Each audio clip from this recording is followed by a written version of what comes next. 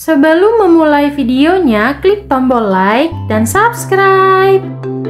Kali ini kita akan menggambar dan mewarnai Ankylosaurus.